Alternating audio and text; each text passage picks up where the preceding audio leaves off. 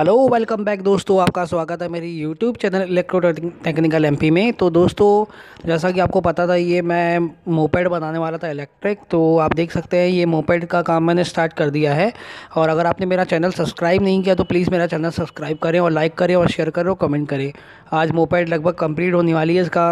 आज मैंने काम कर दिया है इसका, पूरा मोटर वगैरह फिक्स हो गई है। तो दोस्तों, देखें वीडियो और चैनल सब्सक्राइब करना ना भूलें, लाइक करें, शेयर करें और कमेंट करें।